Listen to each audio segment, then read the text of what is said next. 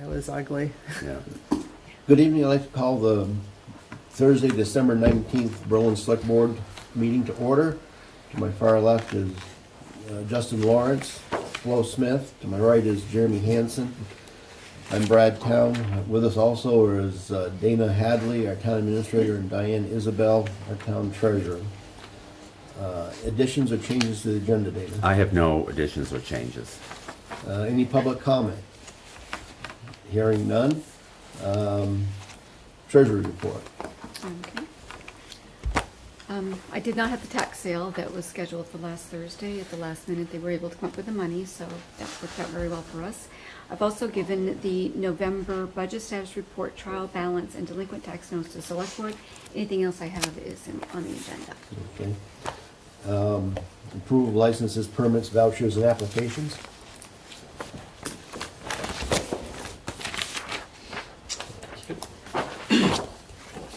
Move to approve general fund accounts payable warrant number twenty G eleven that checks one nine eight two three through one nine eight six zero in the amount of thirty-five thousand, five hundred and thirty-nine dollars and thirty-three cents. Also, general fund accounts payable warrant number NSB twenty twenty ACH in the amount of five thousand, nine hundred and seventy dollars and fifty-three cents uh, for the payment for the twenty fifteen truck. Also payroll warrant number twenty twelve for payroll from November twenty-fourth, twenty nineteen through December seventh, twenty nineteen, in the amount of fifty-three thousand, seventy-six dollars and thirty-five cents. Also November reconciled bank statements for the general fund, sewer commission and water division. Also the November general journal entries and tax admin adjustments. Any further discussion on this? Hearing none, those in favor? Aye. Those opposed, motion carries. Uh, Clarissa Holmes, Vermont Appraisal Company.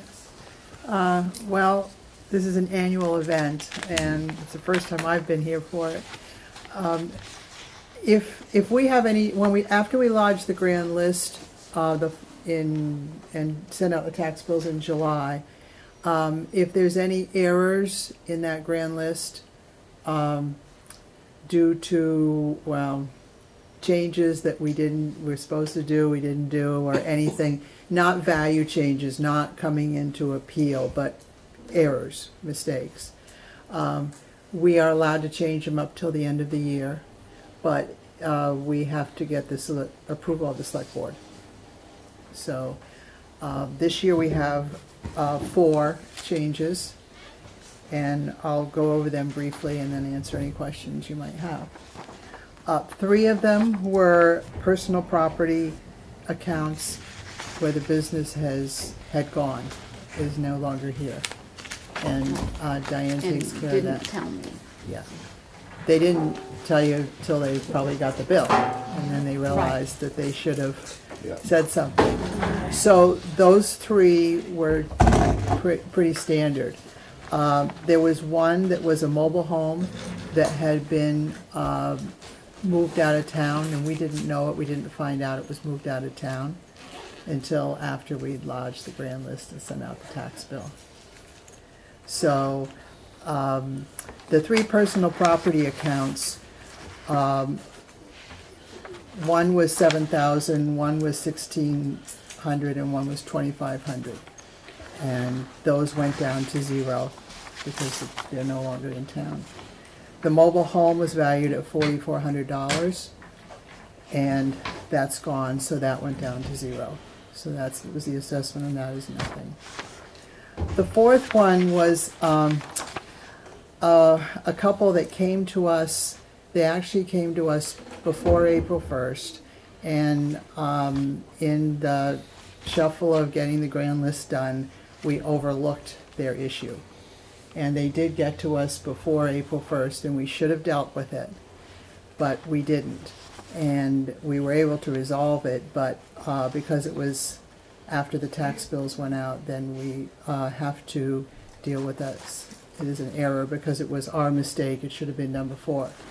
And it was a piece of land that was purchased in two thousand sixteen, and we assessed it like we normally do. It's forty acres, uh, on Chase Road. Normally, we would assess it as a building lot, two acre site, and the rest would be additional land.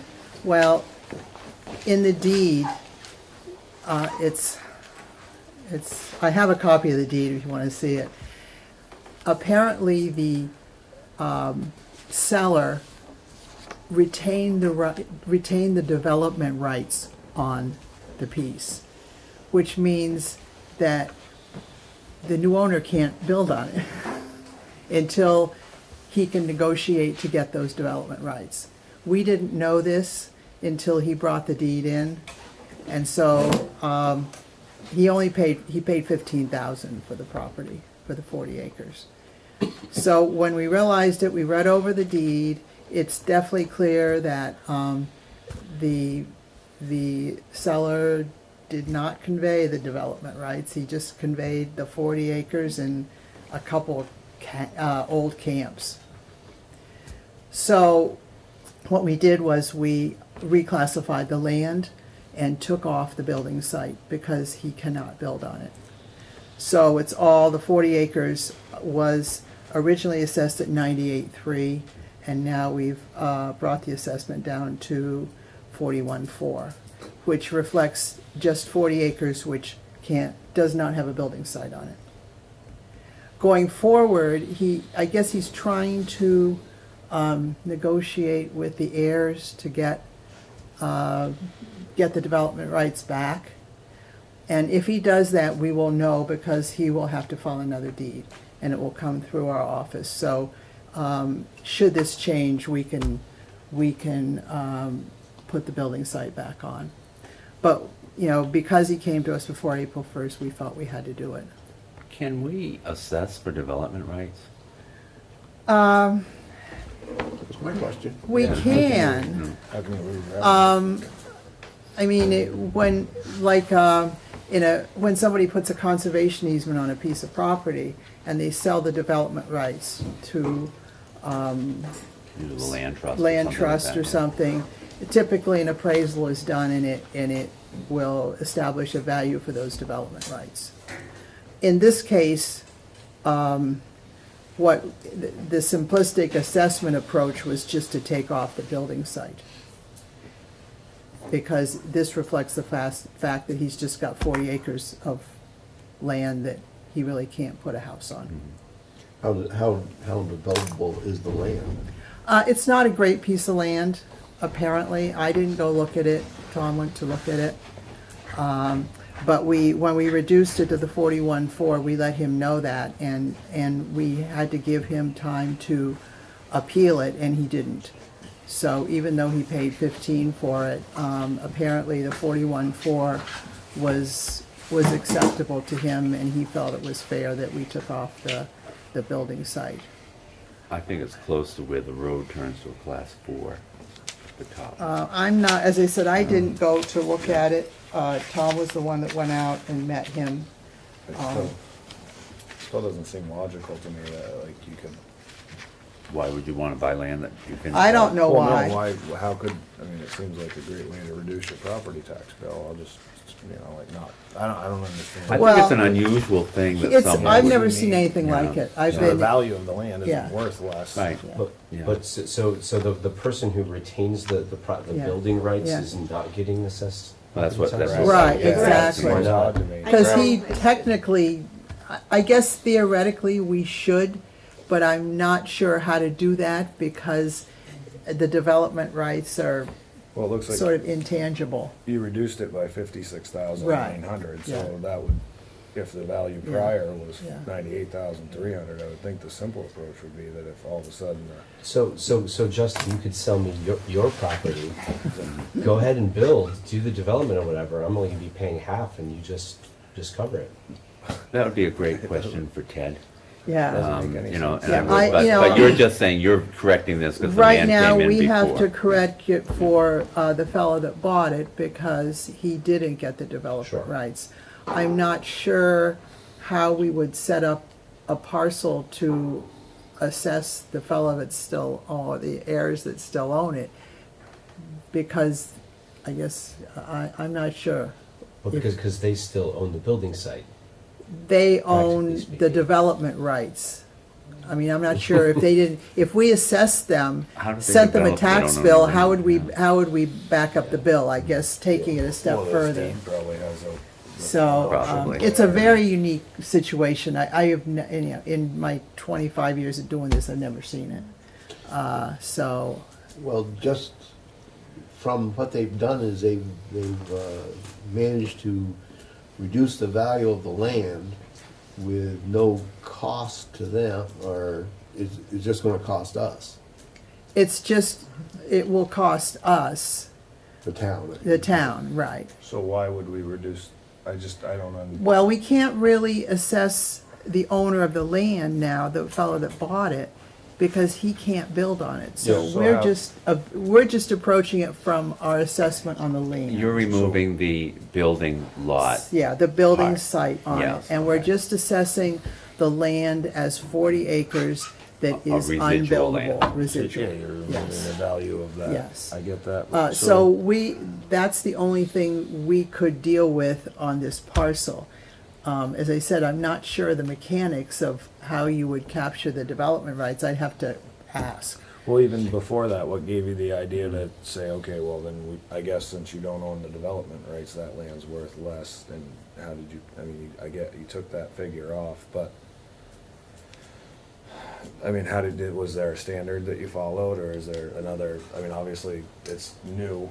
You said there's not somebody else that's done this before, or a reference for Yeah. you, so how did you come up with the idea of doing it that way? Well, it would be, it's the same way we handle other parcels that have no, that cannot be built on. I mean, if you had a piece of property that you could prove to us that you could not build on, um, through an engineering study, um, sometimes we will do it if, if, um, you have a house in Montpelier, and then you have a little piece of land, your residual land is in Berlin, we would not, the state law says we can't put a building site on that residual land because the house is in Montpelier. So we would do that for that piece. Any piece that is, can't really be built on, and we would have proof that it can't be built on, we would assess it as we call other land, or land other than the two acre building site. And that's pretty much the standard, it's, it's the way we do it all the time. And this, so this was really the only way we could do it. And it's handling it the same way we would handle other properties in town. So you have another property, for example, and you would have a two acre building site, and you Right. have an assessment for that, and then they have ten other acres. Right. And you have, Right. and you have that residual assessment, so you're just using the residual. Yeah, we're just saying that, that this is land that is not a building site. Right. It is unusual. And I, I said, I've never seen it before. Um, I, at least, I, if, if he does resolve this, he will have to do, execute another deed. And we will know about it. So my thought was, well, it's not like he can all of a sudden decide, uh, okay, they're gonna give me the building rights back and I can just put a house on it. It's gonna have to go through the town clerk and a, and a deed. And that, then, if that happens, then we can put the building site back on. But it's, it's the only mechanism we had in the assessing office to do this. That's if we file that, if we put the deed on file right away for that change, right? If- Theoretically, could they, their attorney do it and not put the deed on file, the, the, the rights to this They, on file for They years could. and years and years? they could, but then if they want to build, they'd have to go get a building permit. So then they'd have to put it on And- file at that point. Yes, and then, once they, once they got to the building permit, you know, s- state, then we would definitely know about it. But my thought is if, if this fella does manage to negotiate these development rights back, he's gonna record it, probably pretty quick, because they'll probably be afraid they'll change their mind again. It's what you want to Rob. I mean, I understand the, I understand the land trust, but they're registered. Whereas this is an individual and. This is a very odd thing. I, I, you know, I think Maybe. that it's a good question to I do figure think out. it's a So, good question. um, Yeah. I- I'll, I have you ask, um, Ted Okay. first. Just see what he suggests, because I've dealt with properties that have retained mineral rights before. Right. And it's a similar type thing, Mhm. but it's getting the right assessment. How do you bill for something that is an intangible? Right, Is what you're saying, and, yeah. and be able to bill and collect taxes on an intangible thing that, can you put a That lien on Diane it if can't they do don't? a tax sale on, Yeah, yeah. that you can't do a tax sale. Yeah. So that's where it gets sort of sticky on that development right end. Yeah. Well, perhaps Rob would like to make case law. I'll put that on my list. Uh, But how much money are you, for errors and omissions, is the total with your, Well, it's, is it money or is it assessment? it's a, s- uh, we're talking assessment, we're not talking money. Thank you, yeah. So it was sixteen hundred plus twenty-five hundred plus seven thousand plus fifty-six nine. That's the big one. Okay. And that's assessing, assessment dollars, not tax dollars. So you would divide it by a hundred. yeah. Yep, okay.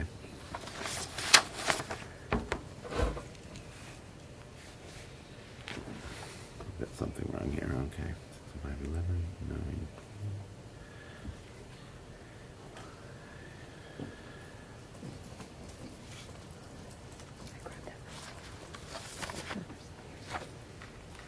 So we're saying sixty-eight thousand? Divided by a hundred. So you're asking the board to approve the money, though? Just the redu, uh, just the, the as- change in the assessment. Our, our E and O form from the state says that the select board needs to approve the fact that we're making these changes Okay. after the grand list was lodged. Did you add that up, Diane? for- Sixty-five four? Sixty-five thousand four hundred, and divide that by a hundred, and multiply by fifty-five oh eight, is it? Or, or actually, no, what's the total rate, Times um, point five with the five. school? Oh, with the school? Two point, Uh, yeah, two, two, well. Non-residential, Two yeah. point zero nine four five.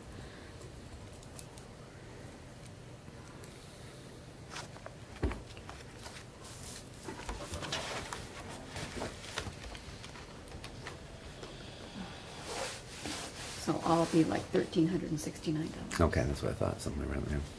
Well, it's certainly better than the electrical transmission lines we had a couple years ago. Um, And I will, I mean, we'll check into the development rights on our end, uh, with, with Ted, the head of the company, to see if he's run into it before, because he's been doing this a lot longer than the rest of us. What was that total again, Diane? Oh, I didn't. I didn't- 1319. Thirteen sixty-nine. Yeah. oh, I- 16, 90, 90. yeah. So we're looking for a motion, To, to accept the changes that, As that uh, we presented. have, have to make, Okay. yes, before the end of the year. okay, Yeah. and then we will, And then the- we need the sig- signature of the select board, and then it goes to Rosemary to Okay. file with the town clerk, when you file with Do I hear a motion? I'll Move to accept the changes as presented. I second the motion. Any other discussion on this? Hearing none, those in favor? Aye. Those opposed, motion carries. there are three sec, three places for select board members to sign, so I'll let you decide how you fit five people in there. I think we can just au- authorize the select board chair to sign on our behalf. Here, a second? Second that motion. All those in favor? Aye. You have Motion more carries. Room to fill in your name. You can write big now. Stretch out.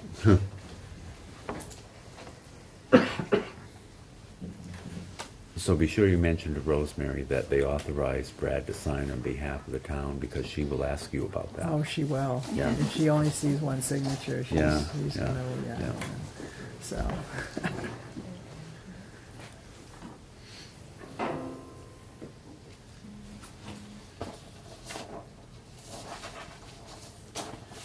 Thank you. Thanks, Kirsten. okay, I'll leave this for Rosemary. Yep. And And you any just other write her a note that. Oh, yeah, any other questions for me, or? Thank you, Clarissa. Any, um, what's going on in the assessing department? Anything that you can think of that's exciting and new and, No, um, you know? no.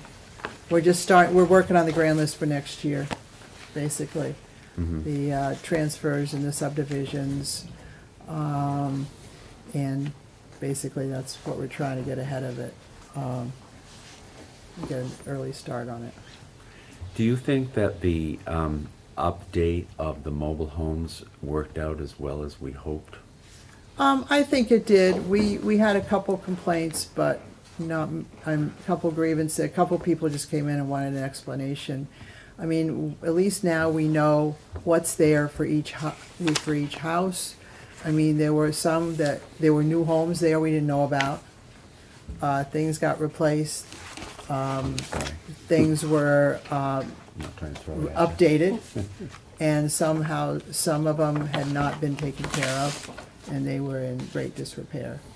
So, um, i- it brought, I think, more equity to the overall, you know, situation with the mobile homes. So I think that's, was the big thing, is we were able to pick up that type of thing. Clarissa's done a lot of work. Um, the tax maps are up to date, which is nice. Um, we've been doing that every year. Um, and we appreciate having you here. We are, I, I am working with Corinne on the exempt properties. We, we want to review them all to, to, um, apparently, she said the state's using different parcel IDs for theirs, and we got different parcel IDs. And this, and the, the tax department doesn't really pay a lot of attention to these, because they aren't taxable. So we're, we're gonna go, be going ahead and just reviewing everything, just try and make sure the list is accurate. It would be nice if you found something that can be taxable. I, uh, I don't think there's anything there. I looked over it briefly. All right, I'm just giving you your marching orders. Okay. Um, Other than that, there's nothing really, you know, that's about it as we're going forward. Okay? Yep. Thank you, Thank you. Mike. Thanks, Clarissa. Uh, draft audit received. Yep. Okay, um, I think you all have a packet as well. I just thought I'd go through a few things that are in the audit.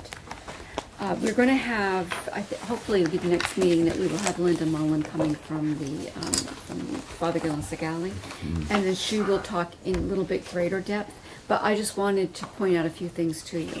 So I'll just tell you some of the page numbers and it shouldn't take that long. So on page three, okay, and that would be, uh, the one that has the table of contents on it.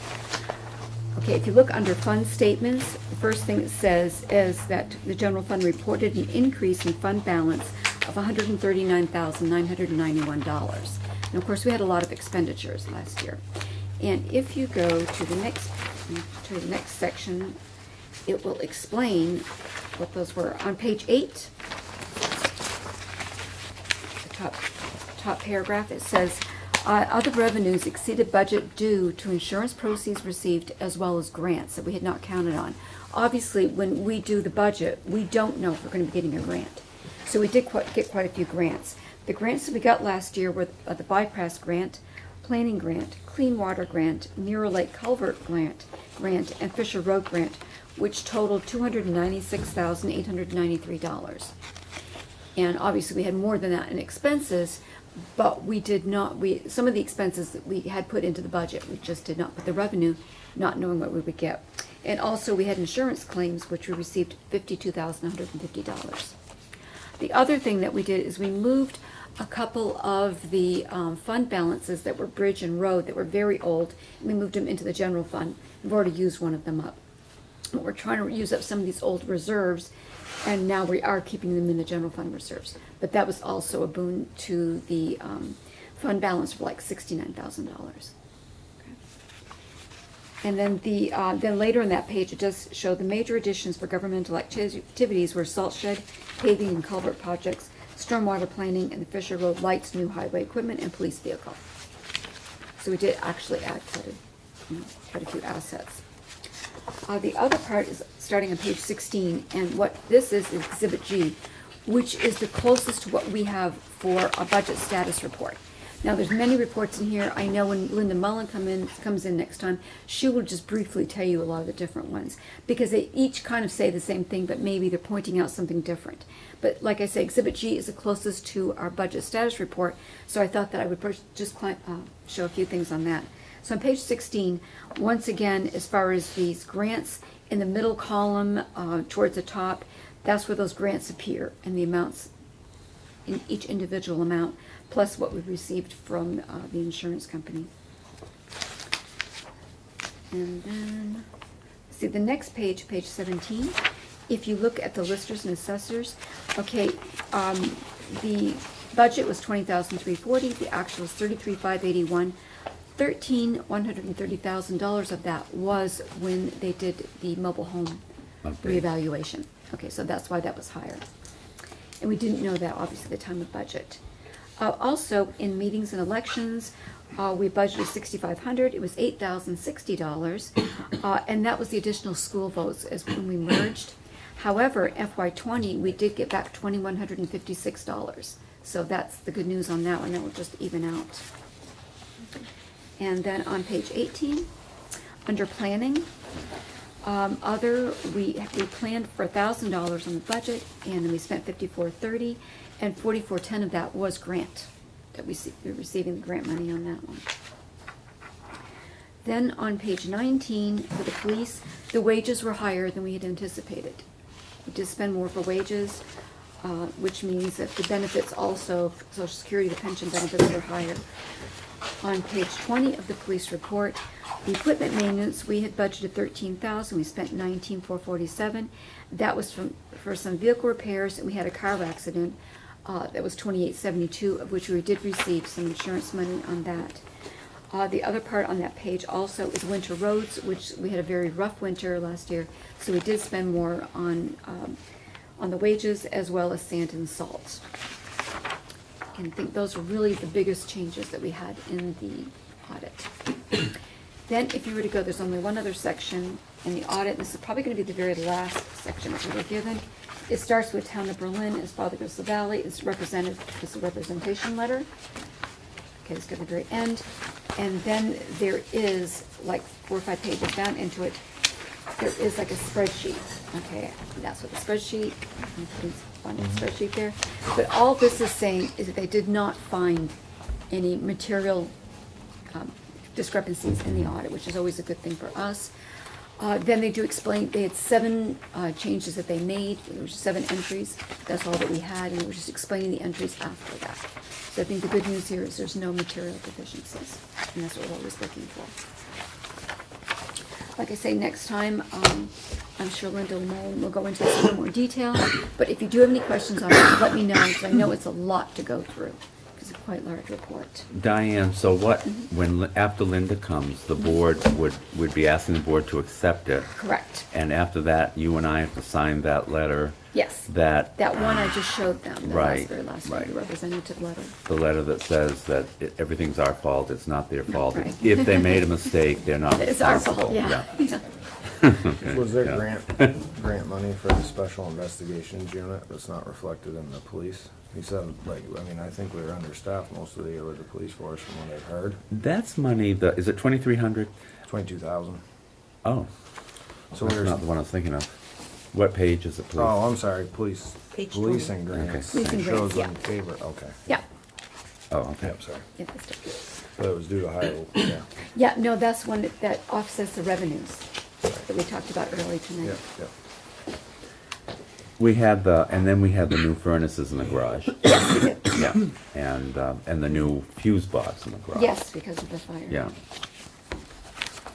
Just be thankful that Reynolds was there. You Oh, didn't that's a have good garage. thing. Uh, Maybe like me up. Yes. We were very lucky on that one. As he went out to his truck and came back and the wall was on fire. Yeah, so like I say, if you have any Fuse questions, just email them to me, I'd be happy to look up anything for you. Thank you. Excellent. He was on the Barre Town Fire Department. I am. Okay, do what you do. Yeah, Great job. Thank you. Okay, uh, Downstreet, uh, discussion on housing project at the mall. Oh, are you welcome. She's gonna escape, She's yeah. gonna leave. Go, go. I wish I could go, but I can't.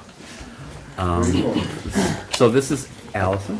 Eileen. Oh, Eileen. I get, I get you and Allison mixed up. Eileen, I'm the Eileen Peltier, the Yeah. executive director Yeah. at Downstreet. I met with most of you during when you weren't here. And but this is Eileen, Matt. you? Matt Moore Moore. with Housing Vermont.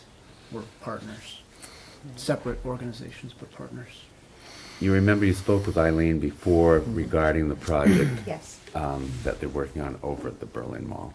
Right. So we, um, so the last time I came, it was really just to kind of introduce you to, to Downstreet, and of course, we got into a few questions about the project. It was, so now we're back to kind of talk about where we're at with the project, um, and talk about um, what we need from you all to make the project, to help the project go forward. But um, so, so just to explain a little bit who Housing Vermont is. So, um, in the state of Vermont, we often, as local community development organizations, we often partner with Housing Vermont, which is a statewide affordable housing developer. They're also a, a syndicator of the tax credits, which is the main form of um, capital that comes into these projects. So, because we're a small rural state, it's hard for us to have the capacity to do these kinds of projects um, on our own. We do some of them on our own, but the bigger projects like this one, which, as you know, is a pretty big project, um, including the childcare and everything, we often partner with Housing Right. Vermont, and we've been working with them for the past 30 years. They worked with us on both French Block and Taylor Street in Montpelier. Hmm. So.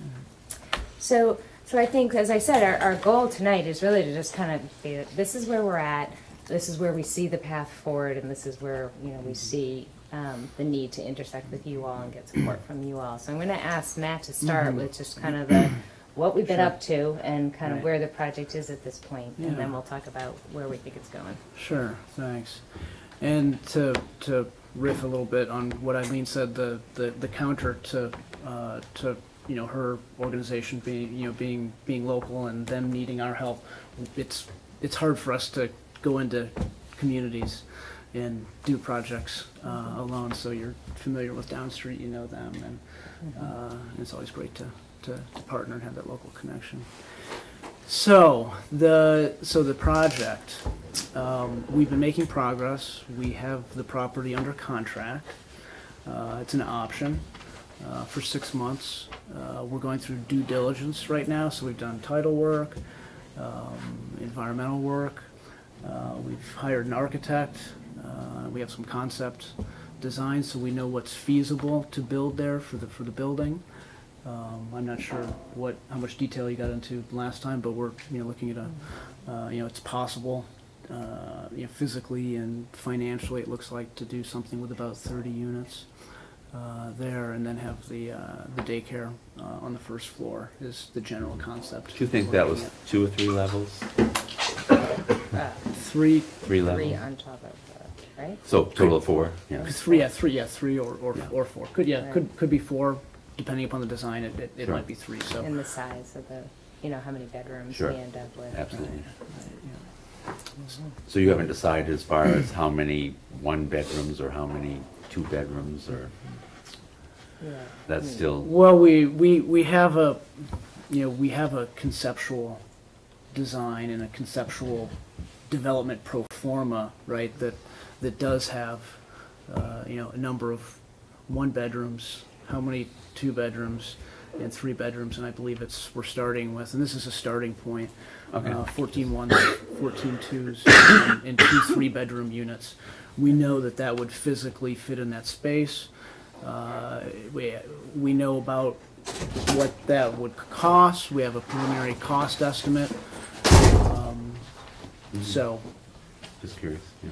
I mean, so, you know, there's a market study that's done, Right. there's a lot of factors that play into it, even just our experience in leasing up the Taylor mm-hmm. Street project in Montpelier recently, you know, understanding on the ground how many people are interested in one bedrooms and two bedrooms, and and of course. I think that's what I was interested in is kind of, are you targeting a certain segment or is it just to give an overall availability for different types of families? So, this particular building, I mean, all of our buildings are pretty general, they're general occupancy, right? So there are sometimes buildings that are senior projects. Um, we typically don't do that just because in a r- more rural market, it just, we want, that's not to say that we don't end up with a fair amount of seniors in a lot of our projects. Um, in the Taylor Street project's an example of it. I think there's a fair number of seniors there. Um, so, and, but we are looking at this because the childcare is there, and of course, there will be senior housing across the way as a great site to do families. So, um, as an example, Taylor Street has no three bedrooms. We're planning on putting in a couple three bedrooms at this point Right. in this building. Um, It's a complicated mix of uh, thinking about the, the person's income, the restrictions on the units.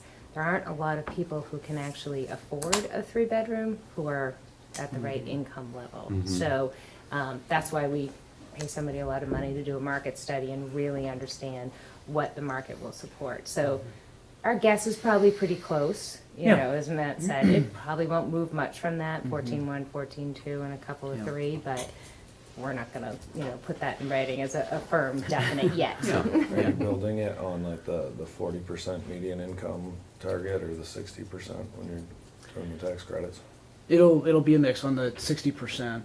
Um, however, the income targeting, there will be, there will be a range. There will be a number of market units. Right. So eighty percent income up to hundred and twenty percent income. Uh, a solid chunk at, at sixty, and then there will, there will be some below that at fifty percent so you'll have income and, and so forth. Yeah. Right. And some of that is, is dictated by the mm-hmm. mix of funding. I mean, it's Yeah, first no, the I- market's I ready. talked but- to syndicators on some projects that I was looking at, I'm sorry. Sounds like you're familiar. Mm-hmm. Not, not as much as you clearly, but I was just curious, yeah. Yeah, yeah, no, it's a good question. HFA, and Yeah, so I was curious how you were. yeah, good question, yeah, definitely. So, we're, we're kind of working our way, we're kind of at the end of due dil- due diligence, in the sense, like I said before, we, we know we can do this, we, there don't appear to be any threshold issues uh, that say, no, this isn't gonna work, we're gonna, we're gonna walk away. There's still things we're gonna have to work through, obviously permitting and design and so on and so forth. Um, So we're, so we're moving ahead. Um, The next phase really is kind of the permitting and, and, and funding or financing phase. So we will be submitting an application to VHFA for these tax credits. You'll hear that word a lot over the next year and a half or whatever, you know, how long it takes to do this here. Uh, That application is due January 31st. Board meeting is in April.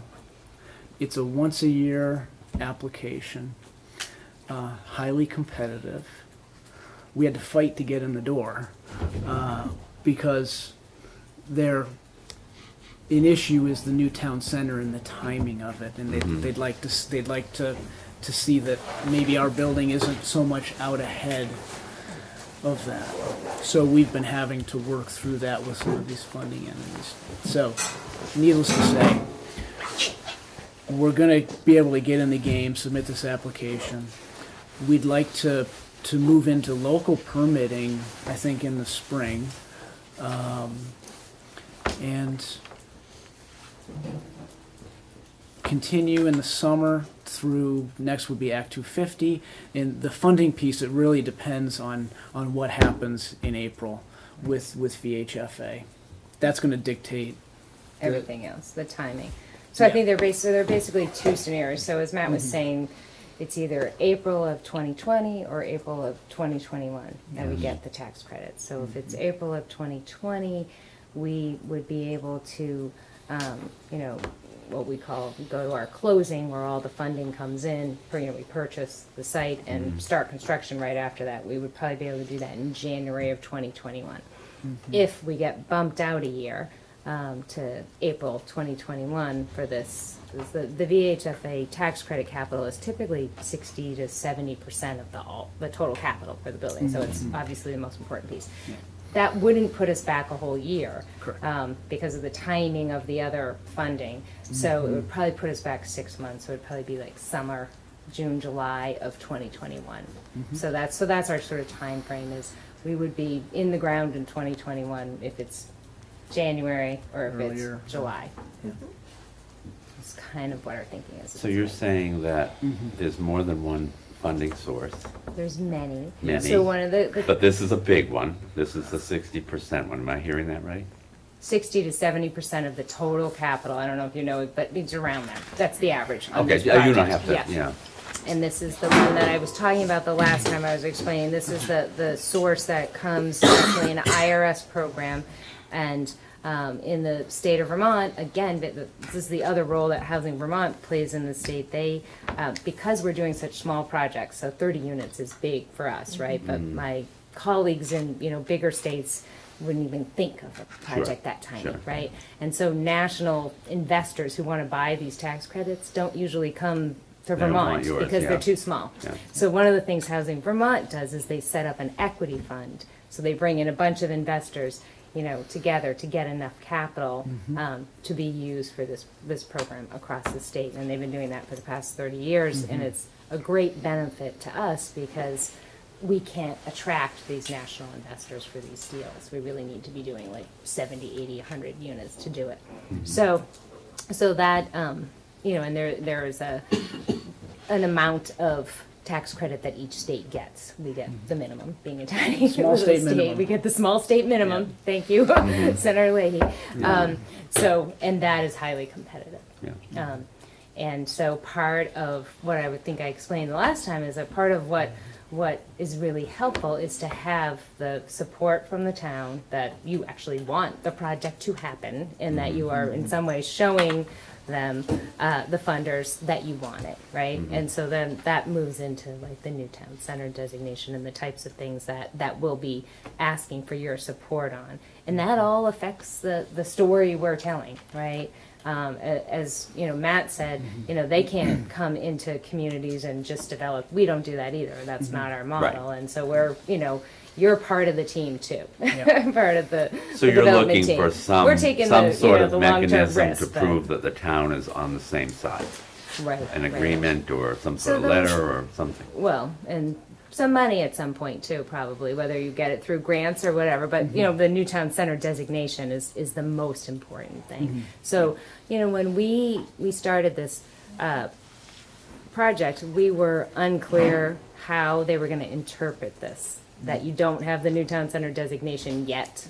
Um, and at this point, they seem to be drawing a relatively hard line around that. So, um, will, they will be looking to see the town progressing on that. We've explained the timeline, you know, Right, Dana, we've talked through yeah, all the, we know yeah. what your timeline is, we've had all those conversations, we've explained it to the funders. Um, but that needs to move forward, you know, um, so that's one thing. Um, things like the, um, improvements, um, to the street, like the sidewalk and whatever we're gonna, things that are actually in your new town center, Yes. um, designation, um, your new town center planning, right? It will already include that.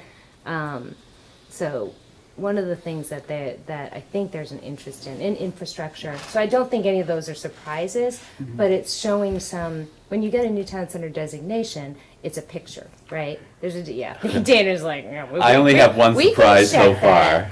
That- well, had a dollar sign in front of it. That was. well, the, you know, that's so it's but showing that you have a path that you're actually going to do the work, right? So it's, if you think about, um, I mean, to to be blunt, their concern is that we put this project here, we invest, you know, federal and state dollars we into a it, yeah. project, and you know, that it's like a bridge to nowhere, right? It doesn't Sure. like connect. There's no sidewalk. I mean, it makes perfect sense, Right. and this is the opportunity for for them to push you to do those. So things, you're right? meaning- you're- know, when you don't say get the money, money you're for the talking project about until you commit to put the sidewalk in. It's Yeah. pretty straightforward, right? So it's I don't think it's an investment that you weren't thinking No. about making. No. It's just um, I wanted you to be sure of that. Yeah. Yeah, um, but it may be the timing and the you know some level of commitment, and we're not exactly clear what they mean by the town committing to do that work. And I mean to be mm-hmm. clear, I don't want to blame this all on the funders. We would be asking you for those things too. We don't want to develop a project Oh, that we're responsible. I mean, it makes sense mm-hmm. to do it.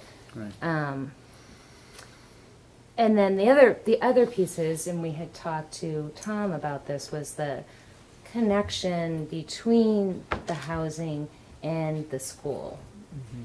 Which unfortunately has some, you know, Mhm. uh, Ravine in the middle. Yeah. Yes, and um, we had, he had talked about the conservation committee, maybe looking at that, and, and we have been in touch with uh, Vermont Housing and Conservation Board, who is one of our funders who does housing and conservation around, you know, are there grants and potential to do that because there's a desire to see that connect, I mean, it makes great sense. And again, it's this sort of using their, they're using this opportunity that they've got right now to sort of push the town to make commitments to do those things, and it, you know, Tom is working on a grant right now that the governor just released last week, maybe, Mm-hmm. um, about a path and bridge. to There. too yeah. Yeah, I mean, it would be obviously fantastic, especially if the focus is to have families and to have the, the childcare on the Yeah, ground floor. right. It makes perfect sense, and to connect to the, I mean, the kids, the childcare kids could walk over and, you know, Sure. use the fields and stuff, Yeah. and obviously it makes sense. So, those are the kinds of things that, um, am I forgetting anything? Tax Well, we've got our, stabilization, maybe? yeah, little list here, Yeah. VCDP. um, Right, so we had talked about the application VCDP, and- Dana knows that world. Yeah. So that's the community development block grant that is Mm-hmm. required to come funnel through a municipality, so you need to, um, be willing to, you know, Manage it. submit that application and manage it. We, Mhm. we can help with the management of it, but you have somebody, you have a very knowledgeable town administrator, so that, that makes it all a don't I lot don't know about easier. that, but, yeah. Well, you, you're not afraid of it, well, maybe I've that it means you before, don't know, yeah. yeah, you've done it before. Um, It's just a, You talked about, you know, you get my interest when you talk about taxes. I love Mm-hmm. taxes. Um, you talked about tax stabilization. Mm-hmm. Are you asking, do you anticipate paying full boat taxes? Or, I didn't think so. no, that's Um, what, you asked me this the last time. I did, and you Yeah, know yeah. I was gonna come back. Yeah, yeah, yeah, to remind the. Ju- yeah, I mean- Yeah. So I'm just wondering, what types of arrangements have you done in other projects? Uh, as far as the tax status goes? It's not really an arrangement, right? You wanna Mm, explain the, the Sure. act? Yeah, we, we, you know, I work all over the state for, you know, done it for many years, and that is probably the number one question that, that I get, that we get, uh, for, for, for new development. Um, and, uh, it's not entirely straight, straightforward. Um, the, the assessed, the assessed value of properties, affordable housing projects like this, where there are restrictions on it that limit the rent that we can take in and so forth. The assessed value is done by a state formula. Yeah. So. We um, have another entity that does that in town. Yeah. So we, we know. Yeah, yeah, there's we one know- other, the, R- the, Yeah, um. we know what you mean. Yeah, right. So, Who is so it? Hill, Um, this is the RD property, forty. Yeah. Oh, you have a rural development property? yeah, Okay, so it would be yeah, like that. It's on, um, I can't think of the name of the Wait, street, Hill- Addison Drive, I think. Addison. Yeah, yeah, yeah. yeah. Yeah, so that formula. Yeah. So, So that's kind of the thing that. we- Right, so the assess, so the assessed value is, it's gonna be assessed based on the income that the property brings in, whereas, uh, you know, a market rate property that has thirty units that can charge hundred percent market rent for everything, they're gonna be assessed based on the, you know, the capitalization rate, right, so how much, how much income the property brings in. Our property's got thirty units, maybe six of them are gonna be market rate, and like before, a big chunk of them are gonna be in the middle, and then some are gonna be low. So our property's gonna be assessed less than, um, Got it. the net profit. So we will pay the same rate, and we will pay taxes.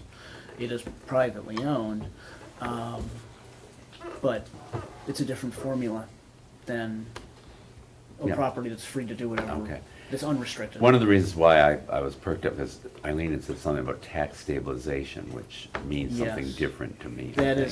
right, so, well, right, so I, I think at, at, at this point, it looks like it would, it could be very helpful to the property. Again, this is very early, looking at a development pro forma that's kind of modeling, okay, what is this thing gonna look like in two or three years when it's up and running, and the expenses and the income and, and et cetera. If we were able to phase in the property Mhm. taxes over five years, Mhm. um, that could be very helpful for us to get on our feet and be able to maintain it and get off to a good start. So as I had talked about, so one of, Matt spends a lot of time driving around the state, but he also spends a lot of time like this with a computer, you know, modeling out the next thirty years, basically, because the way that these, these projects are done, um, I think I explained this a little bit, but the, the, essentially, you know, we're allowed to increase our rents, you know, based on HUD requirement, but typically about, you know, one percent, and the cost of living goes up three percent.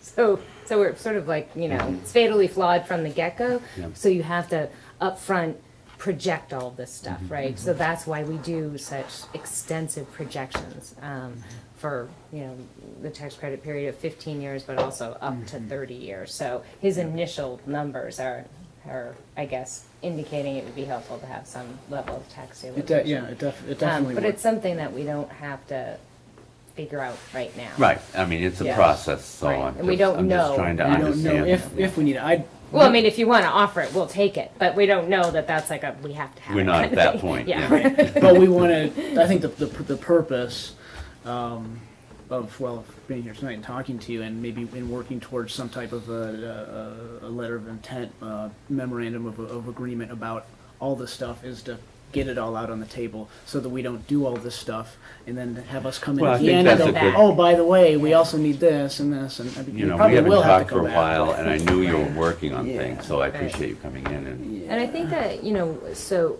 so we used a, you know, a letter of intent in Barre and in Montpelier. And it's, I think, a really helpful sort of conceptual guide for you mm-hmm. all as, so then when we do come back in three months and ask for something, you say, oh, right, we talked, you were at least Mhm. introduced to these different ideas. Mm-hmm. And, um, you know, basically, it's what I had said earlier, it's that you're a willing partner in all of this and you mm-hmm. understand that you have a role to play, you know, to, to, for this to be successful. So I think we're kind of, well, maybe we should stop. Does anybody have any questions at this point? Is it making sense? Sort of? Um, So what you want from the town right now is just a letter of intent to say that we are going forward with the, with the uh, town center? Or, So there's a few things. So we actually did draft something, but we thought we would take this conversation in stages, I think, well, I thought it was better for the board for you to have this first Yeah, step, right. rather than Yeah, to no, present yeah, I them think with that a, makes sense. you know. So the things that are in it, though, are just sort of this idea that we're a partnership working on this together. The Mm-hmm. new town center, uh, that you're moving forward, you know, it's not that you promised to get it, or it's just, you know, you're Yeah. doing what you need to do for the new town Mm-hmm. center. There's some language about the street improvements, the Mm-hmm. pedestrian access to the school infrastructure Supporting the VCDP application. um, supporting the VCDP application, which is pretty straightforward. Um, I think that's, that's mostly it. I may be missing something, but the next, so the next step is for us to, I guess, give you that, have you have some time with it, you know, um, I have the and see. draft, um, yeah, and I'll, I'll share that with the board. right. It was just a lot of words that, but basically come down to what I said. Right, but I wanted to hear it from you exactly what it was, so. And how far into the future um, would we be looking at whether to phase in the taxes over a five-year period Mhm. that you spoke of? That was intriguing to me. Can you elaborate on that? Yeah, in terms of when we might Mhm. need to ask for that. Right. Yeah. That will come before, soon before we're ready to close and start construction. When our construction lender, and we also have a, a permanent loan that's gonna go on this, Mhm. and the investor, when, when they underwrite. Underwrite this deal to make sure that, that it all pencils out. So under kind of our two possible scenarios, the earlier scenario of starting earlier in twenty twenty-one, January? that would mean that we would be, uh, that would, that would put us in the fall, I would say, mhm, of mhm. twenty twenty, uh, is when we would be, um, Trying to ta- wrap that up. Mhm. yeah.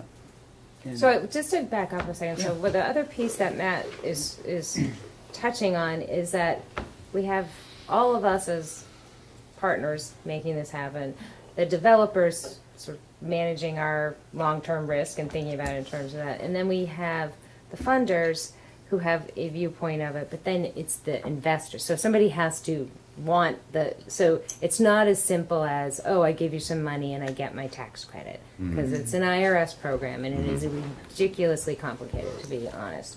And it requires, so they, we have to meet certain marks each year in, for, mm-hmm. in order for them to get their tax credit. So they care about the operating budget of this project. Of course. Right? So, Yeah. so, so they're looking at that level of detail. They're not just like, oh, that looks like a nice building and I get my tax Yeah. credit if I invest in it. So they're, they're all over this too, in the same way that the funders are and we are. So there's like three different parties that really have to Yeah. agree. The developers, the funders, and the investor. So it's, it's Yeah.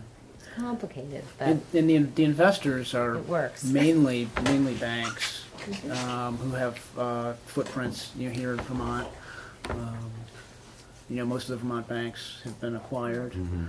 I think there's one, one left, I forget which one it is. It's local, yeah. Yeah, um, but all the, the banks that you all have your bank accounts at are, those are the investors in this fund. Nice.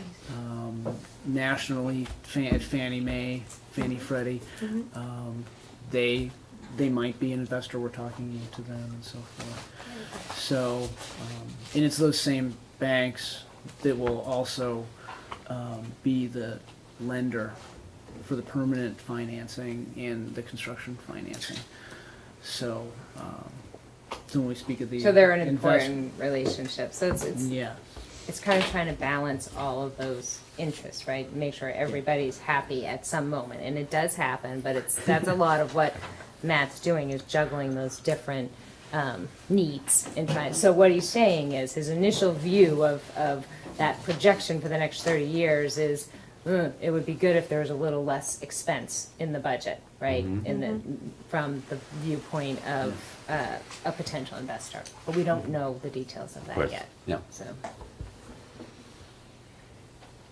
So it's better to put that concept out here now than to come after we've all been working really hard at the eleven hour and say to you, you've got to do this or we're not gonna have a deal. We're Right. trying to, Yeah. you know, put it out there now. yes, exactly. So my thought is the next, so I did just really quickly look at this. I think we've touched on all the things that's in the language here. Um, so I don't think anything will be a surprise. Um, so I think the next step would be just for you to share the language and we could, you Yep. know, come back when you think it's appropriate. Um, so initially, this is a letter of intent and then as sort of time goes by, we're hoping by late spring to have a little bit more of a official commitment. This is just, you know. Well, I think my concern, one of my biggest concerns is that, as you know, we're, we're, we're kind of hanging on, just waiting to get our application in. And I'm gonna be very positive and say it's gonna be approved, but I don't know that for Yeah. sure. Well, if it is- Um, and so, the board couldn't guarantee, No, no, no. you know, Yeah, no, um, and it Of won't course. say guarantee that you get Right, it. It yeah. will be that you get it submitted. We all, we all, we all share that risk together. Okay. We Yeah. understand that. And if it doesn't get approved, it, uh, we'll just delay things a little bit. Right. You'll get there. Yeah. You know, oh, I think it will happen, it just, yeah, yeah, and I think it will happen next fall, but. yeah. If we say it enough, it will be so. It's my philosophy in life. You kinda have to have that philosophy as a Yes. developer. Yeah, yeah. We're doing this. We're Yeah. doing this project. Yep, everything forward at once and Mhm. all the Um, trains will meet at the station. and And we'll all be happy at that one moment in time. Yes, right, right, Right. right. Um, and I'll just brief, briefly mention where the childcare conversation Yeah, is yeah. going. It's going very well. Um, we have, uh, it's looking like we're gonna do ninety slots, which is really incredible and hugely valuable to mm-hmm. the success of this project with funders to be, mm-hmm. because it's, it's addressing two really important needs in our community. It is just the dream location, if you think about it. You can work in Montpelier, but I mean, right in Berlin, you know, there's, mm-hmm. there's thousands of people working at the hospital and Blue Cross Blue Shield, I mean, within half a mile. So, great location. Um, it's in Central Vermont Medical Center has been working with us, Blue Cross Blue Shield, some other of the smaller employers as well. Um, very interested in this happening and our, our um, we are working with Let's Grow Kids, which is a statewide entity that's trying to develop and to develop um, childcare, and what they're recognizing is that these types of projects are actually more likely to be viable for the long term. First of all, you're building a new building, so you get it right, and you know the plugs are where they're supposed to be, and all the you know it's designed well, right? Um, and then the scale matters, right? So having a so so at this point we have Capstone um, has is not in writing, but they verbally have committed that they would like half of the slots. So it would be Head Head Start type programming for 45 kids, and the other 45 kids. I mean, CVMC would like probably all of them, but that's not mm-hmm. how we will do it. But where mm-hmm. there's no real concern from anybody that the need the need's absolutely there. So we are working through a process. We're hiring a consultant to do the business model for that, and then there will be an RFP for potential operators of the mm-hmm. childcare. That will be this process will be overseen by Let's Grow Kids and Capstone and Downstreet, along with this committee that involves CVMC and, and Blue Cross Blue Shield and so. So we've had lots and lots of support and interest and from the business community in making sure that the childcare is successful. So good. Any more questions? Thank you very much for coming in. All right. Thank you, I Thanks. Good to see Nice you all. Yeah. We'll see you again. So let us Yeah. know Yeah. when you want us Appreciate your to time. come back and talk about the LOI or, you know. Sure. just- Yeah, All right. I will. Thanks. Thanks. Uh, Black Road plowing, Dana? Yes, Adults are here. Tim is here. Um, we've been talking about Black Road plowing. And I think it was, we're plowing the road too wide, am I, is that right? Yes. And so the, the Doubts would like the road to be plowed narrower. Um, I've talked to Highway Department about it, and it's an issue with their plowing operation. And I guess I'll let Tim explain what that issue is, as far as changing trucks during the plow route. I'm plowing it with the little truck. So, so there was some confusion about what the little truck means. I think that's the confusion, yeah. It's not the pickup. That's, okay, It's the six-wheeler instead of a ten-wheeler. okay. And for him to back down in there to sand it, because I don't sand, because when I'm plowing, I got salt on. And very, very seldom do I sand unless somebody breaks down or we get way behind in an ice storm, I help them. Because I'm not plowing now. And for him to back down in there, it's gotta be wide enough for him to back down in there. And, um, what's the right of way? That's what I wanna know. What's, what's the, what's the town's policy with the right of way there? Um, My understanding was that it was the gravel surface that was already there. No, that's not the right of way. The Oh. town's right of Well, the way. town's right of way is much, much larger Right. Okay. than Yeah. that. That'd be much bigger. With a two rod? Two Yes, rods. two rods, so that's Two thirty-three rods. feet. Yeah, So if I'm plowing at seventeen feet, that's way less than thirty-three feet. So, so clearly, I mean, we have the, the town has the right, it is the right of way. Um, ho- However, when, when we had talked about the little truck, I thought, I thought you had meant the. No, we the don't, pickup. we don't put the plow on the pickup unless it's a major storm, a big storm. And this way, if somebody breaks down, we can, they can get back here, get in the pickup and go and at least open up roads that are, you know, if you get eight, ten inches of snow and people can't go home.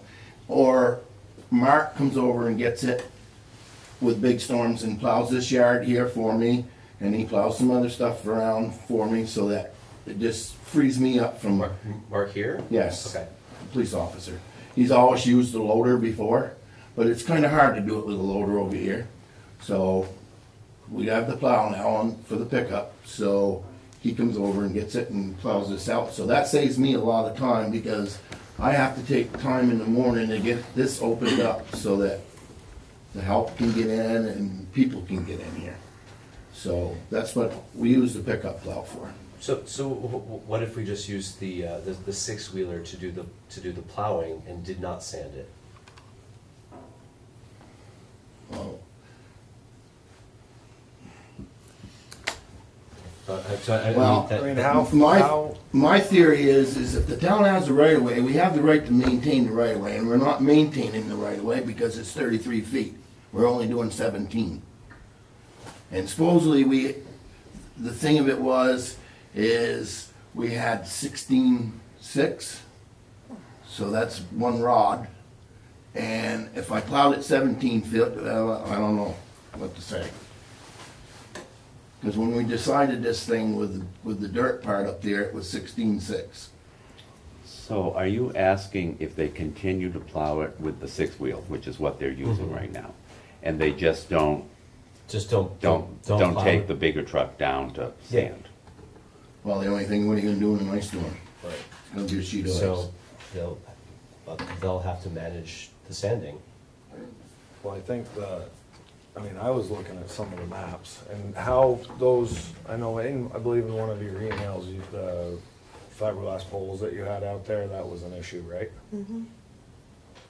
Those are the edge of the permit that was given by the select board to Walkers two years ago. Right. So I think that permit to Josh is not in place for the maintenance in the winter if the town's maintaining it. So we, we don't disagree So- at all with Tim. Uh, It's, it's actually, the town can do whatever they want to do in the right of way. That's the way it works. So in the right of way is three rods, not two, so it's forty-nine something feet. So there's no argument there. When we came to talk about plowing, we talked about coming to an agreement where we would take the little truck down and plow it. Tim was very proud that he could, that all the trucks have angled blades, that they were very able to get into tiny spots. And then as soon as the first storms come, we've got this enormous swath down through the road. Two people live down there, there's nobody in the apartment. There's very little traffic up and down there, if any at all, other than uh, two people coming and going occasionally. It does not need to be 17 feet wide. We don't know why we're here. We made an agreement, um, and, and we're just getting frustrated. I, I mean, I- Well, you don't think that I it's just, am? well, I know, you're stuck in the middle, I'm stuck in the middle, I'm stuck. I mean, it, it's, the agreement that they made should have never happened, and I said that at the meeting. It, we have a right of way, we have the right to maintain our right of way. So, we're not maintaining our right of way. It's thirty-three feet or forty-nine feet, and we're away from that. So, I mean, So, And when I go down in there, I go down in there most of the time, I come off the cross down and go down in and my blade's angled. But you, when I get down to your driveway, I normally straighten the blade out and just push straight down through with the blade and the wing is, getting rid of the snow. I mean, if you don't wanna sand it, that's fine, I don't care, that's, that's up to, totally up to you guys. But Well, that'll make it uh, dangerous for your plow truck to go down there, and a sheet of ice, you're gonna drive your small dump truck Well, down I'm not, there. I'm not going down in there in an ice storm. Yeah. So it's, it's gonna depend on what happens after the ice storm, like this last ice storm we had was some nasty. But the next day it warmed up enough and the roads went back to dirt, so we didn't have a nice buildup on our roads. Like, lots of times that don't happen. Usually, if you get, it warms up enough to rain and then the roads turn to a sheet of ice and then it gets cold. Well, this last time it got up in the fifties and it thawed everything out, so all the roads went back to dirt. Yeah, so when we talked about this, we said, okay, so nothing's gonna change. The, the permitted driveway's gonna stay the same. Uh, it's gonna be, everything's gonna be the same, uh, except that the town's gonna take over the plowing from the walkers. And everybody said, yep, yep, yep, that's what we're doing. And, and, and it's not I wasn't here. like. I wasn't here for that It's meeting. n- nothing like, uh, what, what we talked about. You were here for the first meeting and. Not, not when there was anything said about, well, I said about plowing it with the small truck did. we would. But there was nothing said about how wide we had to plow it or nothing. That was the meeting that they voted for the town to, to plow it, which was in October, and I was not here, and neither was Dana. I don't think the motion was for any specific width on that. There was no width in the No, we motion. didn't go into Yeah. detail No. on the width. We're, There was we're looking for discussion that the it shouldn't- implication that you guys said we could plow that road, we could plow it narrow, we can move the blade all over the place that we want to. Um, It was implied, we agreed, we, we, we thought that was a decent, uh, a, a- a decent, uh, uh, agreement that we all decided on. It was, a- it was, uh, seemed like a thing to go, and then the first, the first file, we were like, holy jeez, the thing is like a, you know, landing It's- strip. it's going down the 17 foot. I, So well, I know, and, but it doesn't need to be that for two people. Well, it does That's for- the it. I'm not, I'm not blaming, I'm not I'm saying. not- What I'm saying to you is, it has to be that wide to sand down. So, so how, how, how wide are you imagining? I, I mean, so, In an Gravel ideal, width- The gravel width has worked for the past twenty years. Okay, and, and and how wide is that? that's, Is it uh, 12 ten feet? feet or twelve feet or something like that. Yeah. And, and, and, you know, and, and if, it, you know, and, and uh, the, the driveway, you know, what, what- we're not asking to do anything different. Narrowed up, three, four feet, two, three feet, don't hit, a- don't hit the little sticks, you know, because they're at the edge of the thing, it's kind of made as a, as a marker and, Well, it's, you your- know. it's the edge of your lawn is what it is. No, Yeah, it's and not the edge of the lawn, it's inside, it's where I measured, uh, and where you put the little blue Well, flags. the only, the only problem is, is, is for me to go in there with just a plow and plow it, I'm driving in the snow with my dual wheels in the back, because the plow's only eleven foot wide, so it's, I don't know what to say. As I said, in my We got a right of way, and I think it's, it's time that we maintain our right of ways. We got other problems too. We got, the same thing down on Point Ridge Road. The guy's got stakes all up on his lawn down here, and he's all mad because I plowed him over. Well, the snow's gotta go somewhere, so what am I gonna do? Leave the snow three feet out on the blacktop? It's cause he's got stakes on the edge of his lawn? Tim, what's the width of the blade on the, Eleven foot. And so you plow, when you go down, wait, that's the six ton that you're, you've been using? The, the six-wheeler. The It's eleven foot blade on the front of it. Eleven foot. So right now, when you go down through, you plow down, you turn around and you plow up. Yep. Well, I can plow down with the plow, and then when I come up out of there, I'm gonna plow up. You don't own the land on the other side of the road, right or wrong? Right or wrong? We don't own that. That's Okay, well then I'll wing it coming out on the other side. The only problem is I got the tree down there. That big maple's in the way. So- So I can't, I can't drop my wing until I get by that big maple. So my question was, do you have to plow both directions? I mean, if you, Well, what I'm saying is, is if I go down in there with my plow, I can just plow right along the edge of your little stakes that you got there. And if we get a lot of snow, then we're gonna run into problems because I'm not gonna have anywhere else to push the snow. Mm-hmm. You can only push so much in front of you when it's a big storm. It's never been a problem for yeah, twenty years we've been there. never, never has been a problem. Well, it's a pickup. It's not, it's not, it's not a dump truck. A pickup's not gonna drive in the, in the snow where he's, cause his plow, it all falls back down in the road. Why do you think we go around with a wing on the grader and wing back snowbanks? Because you've got to keep the, the banks pushed back so that you got your road surface.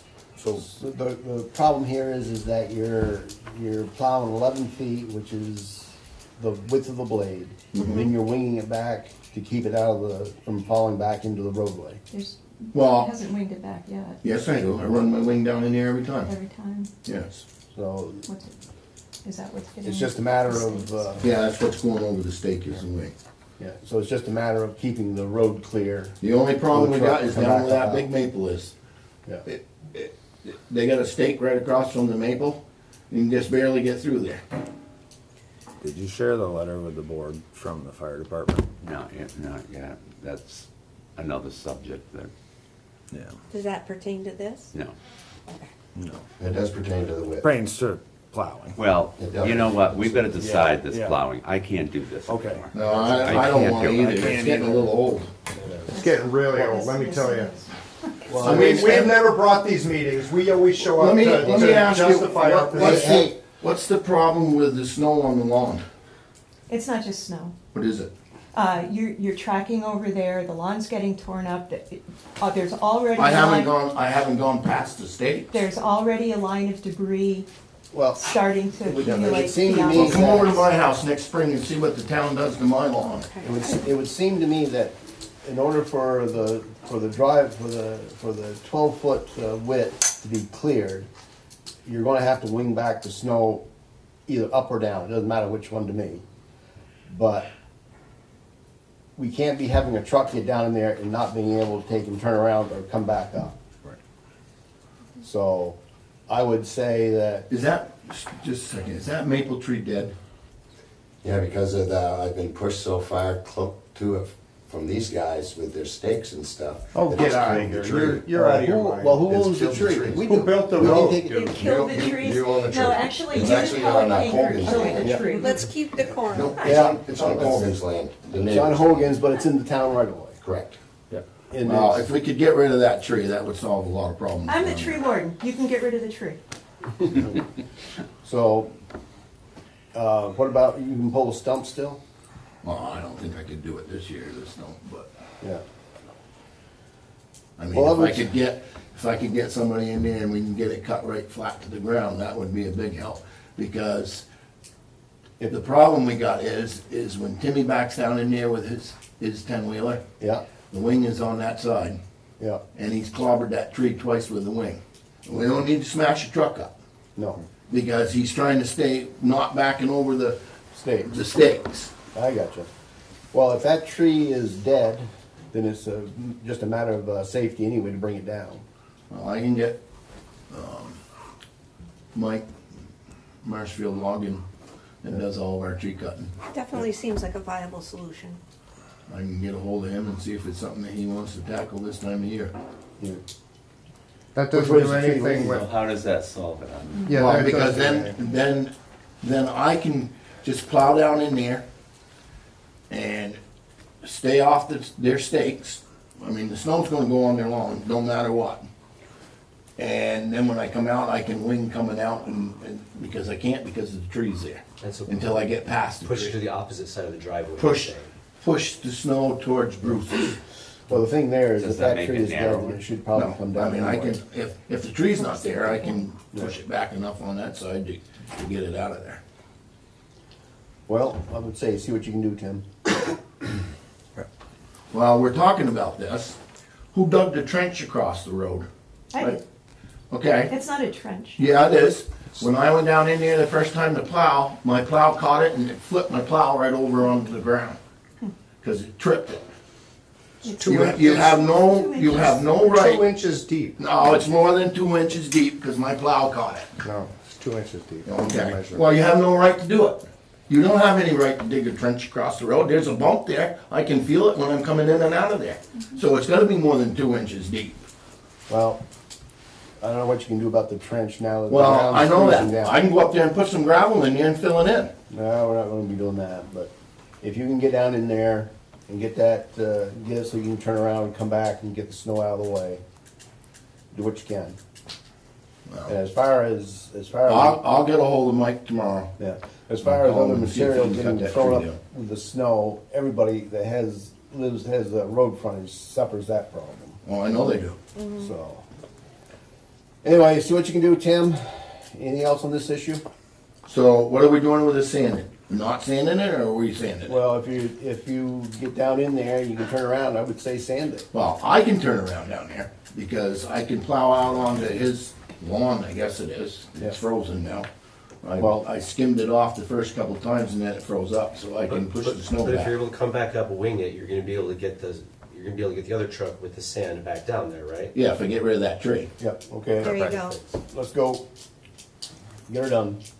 Okay, and we'll call Mike tomorrow and have him come in if he, if he, Find out if, uh, the neighbors that own the tree want the wood, or you have to chip it, or whatever you have to I know, do. he's, he's gonna chip probably all the brush. I know he, he chipped a lot when he cut a bunch out there on the pond for me a while back. He chipped it.